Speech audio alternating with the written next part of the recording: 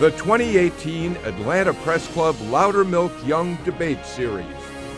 Brought to you from the studios of Georgia Public Broadcasting. This is the race for the 6th Congressional District. Welcome, I'm Giancarlo Cifuentes, Regional News Director at Univision Atlanta. You are watching the Atlanta Press Club Loudermilk Young Debate Series in the studios of Georgia Public Broadcasting. This is the debate among candidates for Georgia's Congressional District 6. District 6 covers portions of Atlanta's northern suburbs, including Roswell, Johns Creek, Alpharetta, Sandy Springs, Doraville, and Dunwoody. Let's meet the candidates. They are in alphabetical order. Karen Handel, a Republican, was elected to represent the 6th Congressional District in a special election in 2017. And Lucy McBath, a Democrat, is the national spokesperson and outreach leader for Everytown for Gun Safety and for Moms Demand Action for Gun Sense in America. Now let's meet our panelists. Doug Richards is a reporter with 11 Alive TV in Atlanta, and Jacqueline Schultz is a multimedia journalist with Fox 5 TV in Atlanta. Now let's start it. The rules of today's debate are in our page, Atlanta Press Club website, atlantapressclub.org. To start the debate, each candidate will have and will be asked one question. Doug Richards, you get to ask the first question. Thank you. Congresswoman Handel, uh, I want to ask about the trade war. How's it working out so far in the 6th District uh, uh, for your constituents so far? So thank you very much for this opportunity to be here, and thank you, Lucy, for being here as well. It's nice to meet you. Um, look, I think everyone would agree that, especially when it uh, comes to China, that it is um, a significant issue, particularly for uh, the sixth district with such a big business footprint. What I will say, and what I hear from from constituents, is this: the playing field, again, particularly with China, is not a level one for American companies. And if ever there was a time to get significant progress in moving forward with our trade agreements, this is it. And the president has had good success. We've gotten an agreement with Mexico, an agreement with China, or an agreement with Canada, and now we're seeing Japan, EU, and Britain come to the table as well. So it's time to keep pressing forward. There may be short-term pain, but we're going to keep pressing forward and get the best deal possible for American companies, which is good for American workers, which means we can sell more um, uh, products for our, our companies across the country, and around the world. Jacqueline, you have to ask the question to Lucy McBath. Okay, uh, Mrs. McBath, you've said on Twitter, quote, I'm the NRA's worst nightmare, yet insist you will not infringe on Second Amendment rights in any legislation. Please explain those statements, which some may even look at as conflicting. Absolutely. I will tell you, I'm a uh, young woman who comes from a family of gun owners. My father was a hunter. My oldest nephew actually was a sniper in the Marines. Uh, so I'm not against guns and absolutely not against anyone's ability to uh, own guns, protect their families. I am a supporter of the Second Amendment, but I do believe firmly that with people's ability to own guns, there should be some common sense solutions uh, to making sure that people who should not have access to guns, such as people that are mentally disturbed or people that have severe uh, criminal histories or people that are domestic abusers, should not have access to guns. I simply want to make sure that we're finding common sense solutions to protecting people from unnecessary gun violence. But I am a staunch supporter of the Second Amendment. Very well. That concludes the first portion of the debate. The candidates now will ask a question to their opponent. Each candidate will have 30 seconds to ask the question, 60 seconds to respond, and 30 seconds for a rebuttal. We'll start with uh, Karen Handel. You may ask the first question. Thank you very much. Lucy, you and your husband held concurrent homestead exemptions for several years in violation of state law. You said several times that your husband is a permanent resident of Tennessee, yet your family continues to claim a homestead exemption in Cobb County, also in violation of Georgia law. Now we've learned that Cobb County has revoked that homestead exemption. At the same time, you reported that your vehicles are registered in Tennessee, also a violation of state law. My question to you is this When do you plan to pay back the tax? Taxpayers for this, these fraudulent exemptions, the car taxes you've been skipping out on, if in fact you do live in East Cobb 6th District? Representative Handel, I believe that you are trying to diminish the confidence that the people in this district, 6th congressional district, have of me, but I'm more than happy to answer the question. Um, I came to Georgia in 1990. Actually, Representative Handel, I've lived in Georgia longer than you have. Um, my son Jordan was born and raised in Georgia. He's gone to Marietta High. Now, I voted for myself in the primary election. I voted for myself in the runoff election. I didn't intend to vote for myself when I win November 6th. But there again, what I will say to you is that I have paid Georgia taxes for every year that I've lived in Georgia in 2016 when I was traveling on behalf of the Democratic Party. My husband and I had some very serious and deep family discussions and provisions provisions that we needed to make. We decided, I decided that I was changing my res- residency to Tennessee. I changed it for 2016 and 2017 I changed it back. For you to try to continue to consider me disingenu- disingenuous is absolutely incorrect. Lucy, the fact is that you your family received a homestead exemption for both of the years that you were in Tennessee. So how can you claim a homestead exemption in East Cobb if you are a resident of Tennessee? It is wrong to mislead the voters. There's nothing illegal about running for Congress in a, in a state in a district that you don't live, but it is illegal to take a homestead exemption when you don't deserve it. If you really do live here and that homestead was valid, then that means you're violating state law by not registering those vehicles here and avoiding paying Georgia's 7% ta- car tax. Lucy McBath, it's your time to make a question. Thank you so much. Mm-hmm. Representative Handel, it's apparent to me that, you know, you're using the same playbook that you used before, and people in this district are simply tired of it. Tired of it. Now, I get it. It must be difficult for you. Uh, you know, you have run for uh, five different seats five different times, and this is your first uh, uh, uh, your first bid for reelection. But what I have understood about you and what I do know is that you will do or say anything uh, in your continued pursuit of your own personal power. And I'm not going to go play by these rules. I'm not going to play this by this playbook. It's time to rebuttal. Mm-hmm. You know, again, we learned last year in the campaign with Jon Ossoff that there's nothing illegal about running for office when you don't live in the district. But again, Lucy, it is wrong to mislead the voters about that and about it is illegal to take that fraudulent homestead exemption. You just right here today said you lived in Tennessee in 2016 and 2017. You've said repeatedly your husband is a permanent resident of Tennessee. You cannot be a permanent resident of another state and legally take a homestead exemption in a different state. Further, if indeed you live here, you must by law register your vehicles here. This is about honesty and uh, transparency, and it is about paying your fair share of taxes just like the rest of the voters in the 6th District and the state of Georgia. Well, you have a rebuttal? You have your second rebuttal. Okay. Representative Handel, when my son Jordan was murdered in Jacksonville, Florida, I brought him home here to Marietta. He is buried 15 minutes from my house. So for you to continue to accuse me of being disingenuous and not paying taxes and not living here in this district, well, I guess I would assume that I would expect that something like that from a career politician like you. Well, that concludes our second round. For those just joining us, this is the debate between candidates for the Georgia's 6th congressional district. We will now go back to the panel to ask questions to the candidates of his or her choice until we run out of time. As a point of moderator privilege, I may also ask a question, and I will determine when a, a rebuttal is appropriate. Doug, you get to ask the first question. Uh, Ms. McBath, I, I, want to follow up on the issue that uh, Congresswoman Handel raised just now.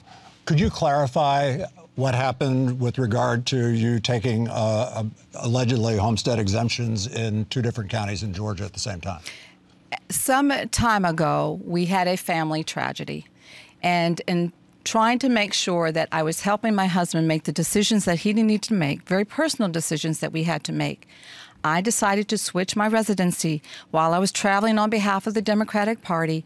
I changed it to Tennessee for 2016 and 2017. I switched it back, made the decisions, and I switched it back.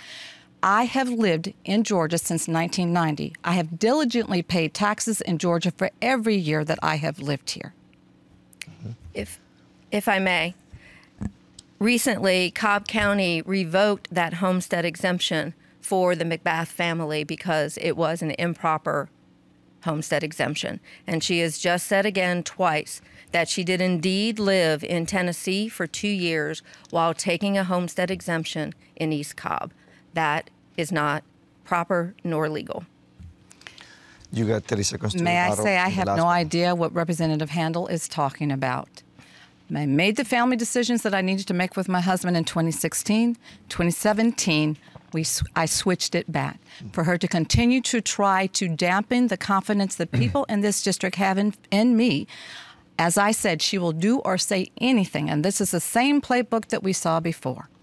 Let's I'll be to delighted to question. show you This- that, we're gonna uh, have to move to the revocation next letter after the debate. Jacqueline, you get the next question. Okay, this is for both candidates. Why do each of you believe you represent the needs and wants of women more than the other candidate? Congresswoman, would you like to start first? Thank you. I actually reject the premise of that question. It is not about representing the interests of women only in the 6th District. It's about representing the interests of the people of the 6th District. Um, I have been a public servant and worked diligently and tirelessly on the behalf of the people of the 6th. First as Fulton County Commission Chairman, where I was able to balance the budget without raising taxes. Then as Secretary of State, leading the way in elections integrity and photo ID. I have been involved in this community for nearly 25 years, where my husband and I have called the 6th District our home. Um, I know this community. I've lived in it. I've worked in it. I've been involved and engaged in this community, not traveling all around the country uh, giving speeches for other people, but actually right here working for the people of Six. I've worked diligently in Congress to get real results, real results in just my first year, delivering a tax increase that is, or a tax decrease that is going to uh, increase money in people's pockets by over $4,400 a year for the average family of four. I will say that I am not a politician, and I haven't spent most of my life trying to set a career path to becoming a politician. But what I do know is my lived experiences, having been a two time breast cancer survivor, so I understand the needs of health care for women. I do understand what it's like to lose your child to unnecessary gun violence, so I understand gun violence. I do understand having been a single mother for years. When I when we had that Great Recession, I understood what it meant to be able to decide what I could or could not afford.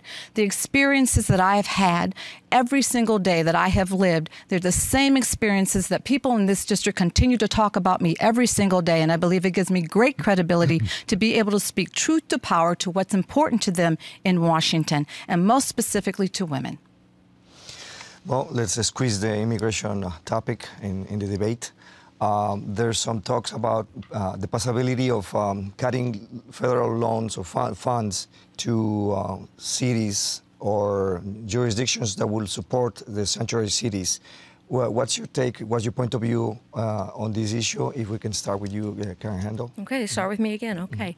Um, first, I do not support sanctuary cities. We are a nation of laws and we should abide by them. What I do support is legal, sound immigration so that those who want to come to our country to pursue their American dream, that we are opening and welcoming to that. But we need to fix our broken immigration system. I hope we can all agree that a caravan of thousands of people coming towards our, our border and trying to storm our border is something that we cannot um, tolerate. We do need to secure our border. That's why I worked through the Judiciary Committee on immigration reform bills, not one, but two. And unfortunately, folks on the left and on the right just did not, far right, did not want to make progress on this issue. And I'm going to continue working on it so that we can get sound, common sense immigration reform that can work for our country, be welcoming to those who want to come here, but also respect the fact that we are a nation of laws. Lucy. As a woman who's had her child torn from her, I was absolutely appalled, and I'm sure with many parents around the country, as we watched those children being torn from their families. Now, my opponent, Representative Handel, I was so appalled watching her on television gaveling down the, the, the voices of those children as they were screaming for their parents. And I will tell you that I truly believe that we need to have a system in place, comprehensive immigration reform, to make sure that we support a Clean Dream Act, make sure there's a pathway to citizenship for people so that we don't see these kinds of horrific policies. And yes, I do believe in law enforcement at the borders. Yes, I do believe in securing the borders, but with not not without some sense of common decency and respect for people that are coming here from war-torn nations or for from political um, for political asylum. If I might, since she invoked that incident, first of all, I was one of the first Republicans to come out against the family separations at the border. Secondly, the House floor is a place for policy debate. It is not a place for political grandstanding. And with due respect, Representative Lieu knew that. He knows the laws. And Lucy, what is most appalling is that I was vilified. My life was threatened, and you actually joined in on that. And I would imagine that your posture would have been extremely different had it been a Democrat woman Time. in that speaker's chair. Time, uh, a quick rebuttal. I don't honestly know what Representative Handel's talking about and me joining in on that. But what I will say is this is that people in this country that are coming here for a better way, this is what America is. This is democracy. And we need to make sure that each and every person, yes, they need to be vetted when they come here. Yes, we have to have secure borders, but we are America and we should treat each and every person with dignity and respect. That is the reason why we need comprehensive immigration reform. Moving to the next questions. Doug, your next question. I'd like to ask a question of both of you, uh, following up on the one that Jacqueline asked earlier. Um, with regard to the Me Too movement, um, and President Trump's recent analysis that suggests that the Me Too movement is threatening to men. Uh, starting with you, uh, Ms. McBath, what's your take on, on that perspective of this issue? Is it legitimate? Well, I believe that for far too long, women's accusations about any kind of sexual harassment have not been taken seriously. And I think at any point in time, whether these investigations, we should always be making investigations on these kinds of insinuations and accusations whether it be done by the state, whether it be done by the federal government, or whether it, whether it be done by law enforcement, we need to start taking these kinds of accusations seriously.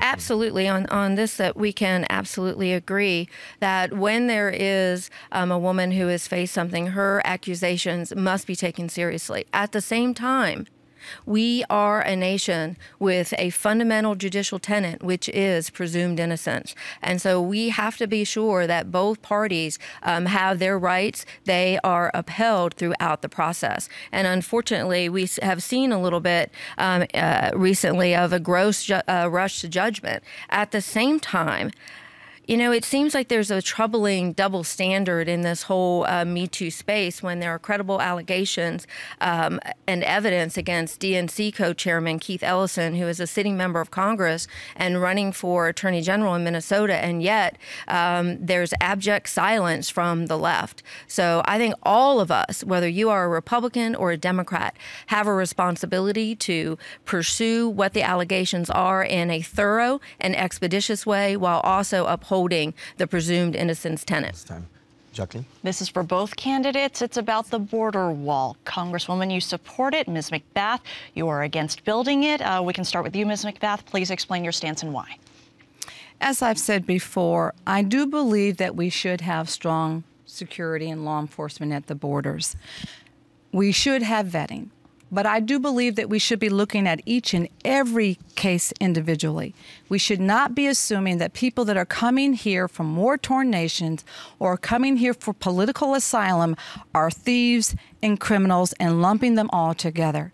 Look at each and every situation distinctly. We need to make sure, of course, that we are vetting people that are coming here, but there is a more humane, way to do so. comprehensive immigration reform, making sure that Republicans as well as Democrats reach across the aisle to come to some common sense solutions so that people can live here, come here, live the American dream. As I said, I, I would hope that all of us can agree that a caravan with thousands of people working its way to our border in an effort to storm into our country is something that we cannot have. It underscores exactly why we must have border security. I support the wall. I support whatever measures we must take to secure the border. It is why I specifically supported legislation, uh, two immigration overhaul bills that one advance funded all of the security measures. Um, but unlike my opponent's supporters, and many who have come here to support her, I don't support open borders, and I do not support abolishing ICE because part of the jobs of our ICE agents goes well beyond just ensuring that individuals don't come legally into the country. They're there, they have saved some 700 children last year from human trafficking, apprehended 9,000 some human traffickers, coyotes, and are stopping tens of thousands of pounds of illegal drugs from coming across that border every single month. Doug, your next question. Uh, Congresswoman Handel, with regard to gun laws, Yes. does it violate the Second Amendment to support uh, universal background checks? So let me just start with this. And Lucy, you and your family have really endured an unimaginable tragedy.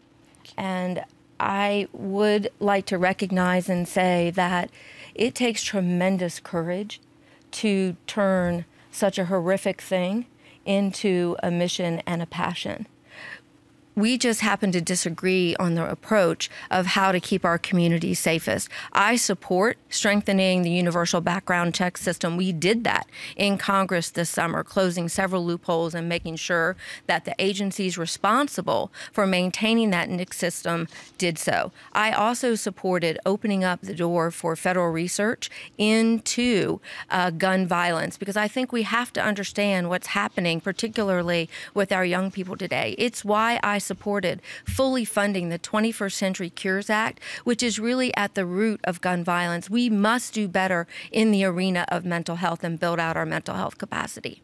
I speak to that? Jacqueline. I speak to that? Okay, you, Okay, thank you. please. 96 Americans in this country continue to die every single day, and hundreds more are injured due to the fact that persons like Representative Handel, along with the Trump administration, continue to turn a blind eye to what 90% of Americans in this country agree upon background checks for all gun sales and red flag laws to pre- prevent tragedies such as Parkland from happening. Now, Representative Handel continues to align herself 98% of the time with President Trump and his policies. Over $30 million was paid for President Trump to become uh, to become president in the White House, and that was paid by the NRA gun lobby. And Representative Handel has also received thousands of dollars from the NRA gun lobby. That's actually how she got in this seat. and the reason why we don't get anything done in Washington on this issue is because most of our legislators are bought and paid by the NRA gun lobby. If I might, Lucy, You get that 30 is. seconds to rebuttal. but- Thank you. But that is a ludicrous statement, Miss McBath. Uh, first of all, I was I was elected to the sixth district because the majority of the people of the sixth district voted for me. If you recall that election last summer, oh wait, you don't because you weren't here and you didn't vote. You didn't even vote in it. You will remember, however, that in that election, some forty million dollars was spent. The overwhelming majority of it was outside money, not even from the state of Georgia, let alone the sixth district. Thank you so much. Thank well, you. that is all the time that we have for questions. Each candidate now will have 60 seconds for a closing statement. Lucy McBath, you get the first closing statement. Thank you very much. I am Lucy McBath, and in 2012, my son was killed in what people have considered the National Loud Music case. I started questioning our leaders. Why were these kinds of tragedies continuing to happen? And as I continued to ask more and more questions, why were our legislators not willing to keep our families safe? There was silence. There, were, there was complicity. Um, what I began to understand is that no one was going to be willing to do anything. That's the reason why I stood up, and that's the reason why I'm taking action. What I've noticed over and over again is that Karen Handel and other Republican legislators refuse to do anything about this unnecessary gun violence. They will not take action. In the end, the only things that I am beholden to in this district are the people that I talk to every single day and my son's legacy. I'm running because I'm a mother on a mission here in Marietta to represent everyone. Karen Handel, is your turn. Thank you very much for this opportunity to be here. And to the people of the 6th District, thank you for what is an extraordinary honor to serve you. I have worked hard over the years to represent you as Fulton County Commission Chairman, as Secretary of State, and now in Congress, where I have been working to get real results for you and hardworking families across this district, getting our economy going again so that you have more money in your pocket, uh, paycheck to paycheck, with average family of four receiving over $4,400 more um, in their paychecks. Also, making sure that everyone has opportunity for jobs with the lowest the lowest unemployment in decades working to end the opioid crisis which is taking so many lives in our district fighting against human trafficking making sure that we keep our communities safe our schools safe and working on the mental health issue I am an unlikely member of Congress, leaving an abuse, abusive home at just 17, working my way up to be a member of Congress. It is a great privilege, and I ask for your vote to be able to keep working for you. Thank you so know much. I'm going to work hard to earn it. Thank you. Thank you so much. That concludes our debate. We'd like to remind voters that election day is Tuesday, November 6th, and early voting has begun. Our thanks to the candidates and the panel of journalists present. I would also like to thank the Atlanta Press Club and the Georgia Public Broadcasting for arranging today's debate. And for more information of the full schedule of general elections debates, please visit atlantapressclub.org. This debate will be archived there and the Georgia Public Broadcasting website, gpb.org. I'm Giancarlo Cifuentes. Thank you for joining us in the Atlanta Press Club Lauder Young Debate Series. Muchas gracias.